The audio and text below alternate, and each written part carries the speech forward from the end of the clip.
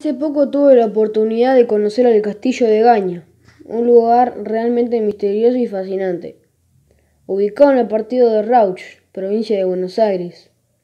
Fui con mi familia, quienes días atrás me habían contado que era un castillo abandonado y en ruinas. A medida que nos acercábamos mi curiosidad crecía, ya que por estar rodeado de un monte con más de 10 especies diferentes de árboles, como pinos, sauces y eucaliptos, el castillo no dejaba verse. Al llegar, me recorrió una rara sensación que no podía explicar.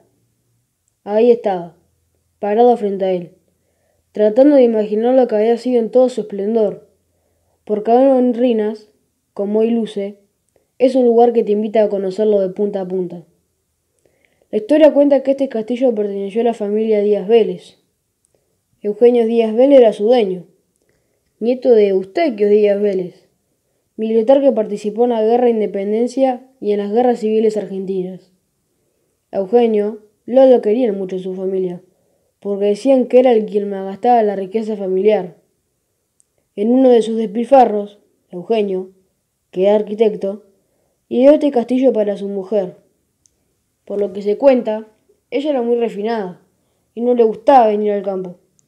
Entonces su marido, con el fin de que se sintiera como en la ciudad, creó esta imponente mansión, de 77 habitaciones, 14 baños con grifería de oro y dos cocinas, una para platos dulces y otra para platos salados, hermosas galerías y grandiosos salones, todo lleno de lujos y ostentaciones.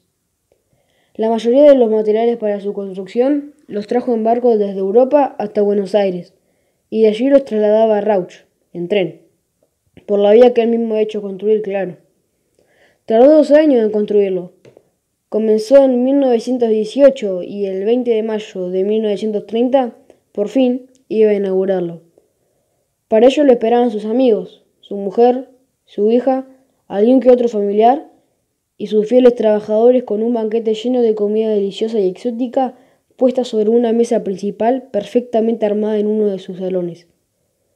Pero todo se vio frustrado porque Eugenio no llegó a la celebración. El tiempo corría y comenzaron a preocuparse por la tardanza del arquitecto. Temían que algo le hubiese pasado. Y así era. Había muerto un infarto en su casa de Buenos Aires. Unas horas después llegó la triste noticia, lo que hizo que todos regresaran a la ciudad esa misma noche en el tren que los había traído. Desde ese momento, la viuda mandó cerrar el castillo hasta 1960, año en que la hija de Eugenio volvió y al abrirlo, después de 30 años, se encontró todo tal cual había quedado esa fatídica noche. Muchos dicen que al abrir la puerta, las cosas se hicieron polvo por el oxígeno que entró, y que ahí comenzó el deterioro del castillo de Gaña. Otros tantos aseguran que desde ese día el fantasma de Eugenio Díaz Vélez deambula por el castillo y que se lo suele ver como contemplando su creación, la que no pudo disfrutar. Visitarlo fue una gran experiencia y sin duda despierta un mundo de sensaciones que vale la pena vivir.